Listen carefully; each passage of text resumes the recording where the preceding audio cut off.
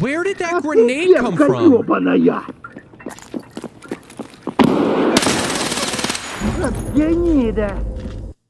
I swear to God, they have the audio for this game routed through a baked potato.